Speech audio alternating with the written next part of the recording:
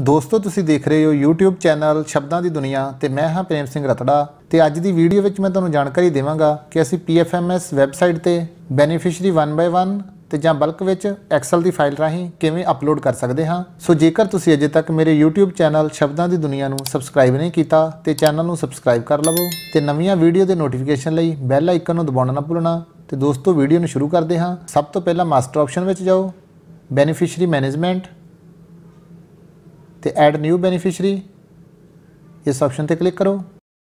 ਇੱਥੇ ਸਭ ਤੋਂ ਪਹਿਲਾਂ ਅਸੀਂ ਸਕੀਮ ਸਿਲੈਕਟ ਕਰਾਂਗੇ ਬੈਨੀਫੀਸ਼ੀਅਰੀ ਟਾਈਪ ਤੇ ਉਸ ਤੋਂ ਬਾਅਦ ਵਿੱਚ ਸਾਰੀ ਡਿਟੇਲ ਫਿਲ ਕਰਾਂਗੇ ਤੇ ਲਾਸਟ ਤੇ ਸਬਮਿਟ ਆਪਸ਼ਨ ਤੇ ਕਲਿੱਕ ਕਰਾਂਗੇ। ਸੋ ਦੋਸਤੋ, ਜੇਕਰ ਤੁਸੀਂ ਐਕਸਲ ਦੀ ਫਾਈਲ ਰਾਹੀਂ ਬਲਕ ਵਿੱਚ ਬੈਨੀਫੀਸ਼ੀਅਰੀ ਐਡ ਕਰਨਾ ਚਾਹੁੰਦੇ ਹੋ, ਤਾਂ ਦੁਬਾਰਾ ਮਾਸਟਰ ਆਪਸ਼ਨ ਵਿੱਚ ਜਾਓ ਬੈਨੀਫੀਸ਼ੀਅਰੀ ਮੈਨੇਜਮੈਂਟ ਤੇ ਅਪਲੋਡ ਬੈਨੀਫੀਸ਼ੀਅਰੀ ਇਸ ਆਪਸ਼ਨ ਤੇ ਕਲਿੱਕ ਕਰੋ ਸਕੀਮ ਸਿਲੈਕਟ ਕਰੋ।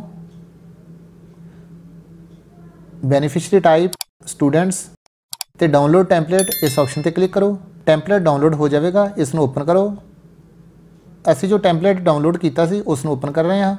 ਸੋ ਦੋਸਤੋ, ਇਸ ਐਕਸਲ ਦੀ ਫਾਈਲ ਨੂੰ ਅਸੀਂ ਬਹੁਤ ਧਿਆਨ ਨਾਲ ਭਰਾਂਗੇ। ਸਭ ਤੋਂ ਪਹਿਲਾਂ ਹੈ ਫੁੱਲ ਨੇਮ ਇਨ ਇੰਗਲਿਸ਼ ਸੋ ਇਹਦੇ ਵਿੱਚ ਵਿਦਿਆਰਥੀਆਂ ਦੇ ਨਾਮ ਅਸੀਂ ਫਿਲ ਕਰਾਂਗੇ। ਸੋ ਦੋਸਤੋ, ਸਾਰੀਆਂ ਡਮੀ ਐਂਟਰੀਜ਼ ਹਨ। ਇਸ ਤੋਂ ਨੈਕਸਟ ਜੈਂਡਰ ਸੋ ਜੈਂਡਰ ਵਿੱਚ ਮੇਲ ਦੀ ਜਗ੍ਹਾ ਐਮ ਤੇ ਫੀਮੇਲ ਦੀ ਜਗ੍ਹਾ ਐਫ ਲਿਖਾਂਗੇ। ਉਸ ਤੋਂ ਨੈਕਸਟ ਹੈ ਐਡਰੈਸ ਇੱਥੇ ਬੱਚੇ ਦਾ ਐਡਰੈਸ ਲਿਖਿਆ ਜਾਵੇਗਾ।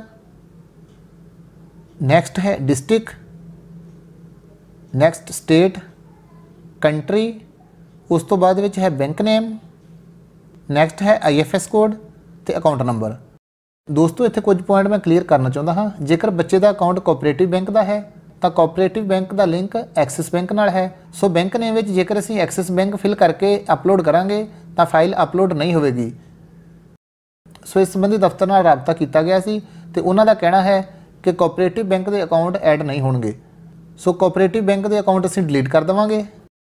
ਨੈਕਸਟ ਜੇਕਰ ਤੁਹਾਡਾ ਅਕਾਊਂਟ ਪੰਜਾਬ ਗ੍ਰਾਮੀਣ ਬੈਂਕ ਦਾ ਹੈ, ਤਾਂ ਤੁਸੀਂ ਇਸ ਨੂੰ ਪੰਜਾਬ ਨੈਸ਼ਨਲ ਬੈਂਕ ਨਹੀਂ ਲਿਖ ਸਕਦੇ। ਇੱਥੇ ਅਸੀਂ ਪੰਜਾਬ ਗ੍ਰਾਮੀਣ ਬੈਂਕ ਹੀ ਲਿਖਾਂਗੇ।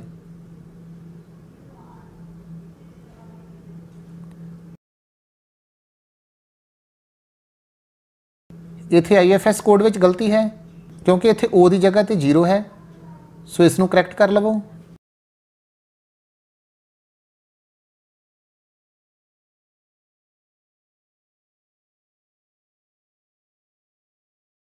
ਦੋਸਤੋ, ਬੈਂਕ ਦੇ ਨਾਮ ਵਿੱਚ ਆਈਐਫਐਸ ਕੋਡ ਵਿੱਚ ਜਾਂ ਬੈਂਕ ਅਕਾਊਂਟ ਵਿੱਚ ਕੋਈ ਵੀ ਗਲਤੀ ਨਹੀਂ ਹੋਣੀ ਚਾਹੀਦੀ। ਸੋ ਇਹ ਸਾਰੇ ਕੋਆਪਰੇਟਿਵ ਬੈਂਕ ਦੇ ਅਕਾਊਂਟ ਹਨ। ਇਹ ਸਾਨੂੰ ਡਿਲੀਟ ਕਰਨੇ ਪੈਣਗੇ।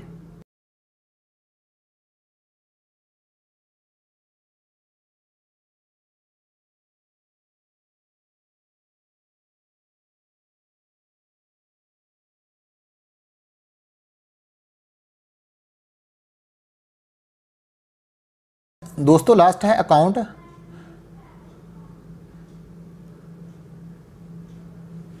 ਇੱਥੇ ਸਪੈਸ਼ਲ ਕੈਰੈਕਟਰ ਹੈ ਇਸ ਨੂੰ ਅਸੀਂ ਡਿਲੀਟ ਕਰਾਂਗੇ, ਕਿਉਂਕਿ ਇਸ ਵਿੱਚ ਸਪੈਸ਼ਲ ਕੈਰੈਕਟਰ ਅਲਾਉਡ ਨਹੀਂ ਹੈ। ਫਾਰਮੈਟ ਸੈੱਲ ਨੰਬਰ ਤੇ ਡੈਸੀਮਲ ਪਲੇਸ 0 ਕਰ ਦਵੋ।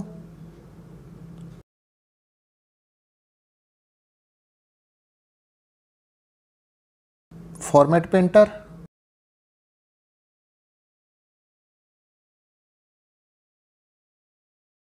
ਇਹ ਸਾਰੇ ਅਕਾਊਂਟਸ ਤੋਂ ਸਾਨੂੰ ਸਪੈਸ਼ਲ ਕੈਰੈਕਟਰ ਹਟਾਉਣਾ ਪਵੇਗਾ।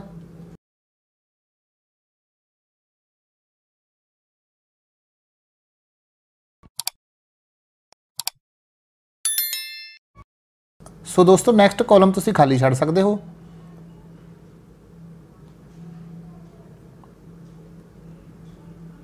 ਸੇਵ ਕਰੋ।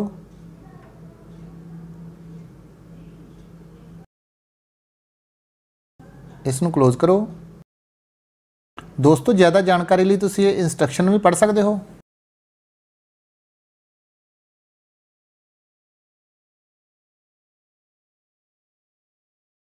ਬੈਨੀਫੀਸ਼ੀਅਰੀ ਅਪਲੋਡ ਕਰਨ ਲਈ ਸਕੀਮ ਸਿਲੈਕਟ ਕਰੋ।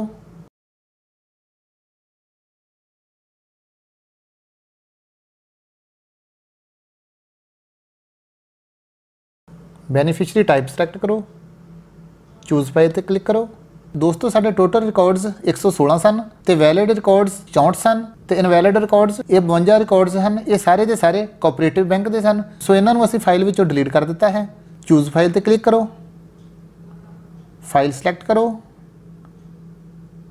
ਓਪਨ ਤੇ ਕਲਿੱਕ ਕਰੋ ਅਪਲੋਡ ਆਪਸ਼ਨ ਤੇ ਕਲਿੱਕ ਕਰੋ ਓਕੇ ਤੇ ਕਲਿੱਕ ਕਰੋ ਪ੍ਰੋਸੈਸਿੰਗ ਹੋ ਰਹੀ ਹੈ ਥੋੜਾ ਇੰਤਜ਼ਾਰ ਕਰੋ ਤੇ ਸਾਡੇ ਰਿਕਾਰਡ ਜੀ ਸਕਸੈਸਫੁਲੀ ਕੰਪਲੀਟ ਹੋ ਚੁੱਕੇ ਹਨ। ਦੁਬਾਰਾ ਮਾਸਟਰ ਆਪਸ਼ਨ ਵਿੱਚ ਜਾਓ। ਬੈਨੀਫੀਸ਼ੀਅਰੀ ਮੈਨੇਜਮੈਂਟ ਇਸ ਆਪਸ਼ਨ ਤੇ ਕਲਿੱਕ ਕਰੋ। Edit beneficiary beneficiary type student pending beneficiary ਇਸ ਆਪਸ਼ਨ ਤੇ ਕਲਿੱਕ ਕਰੋ ਤੇ ਸਰਚ ਕਰੋ।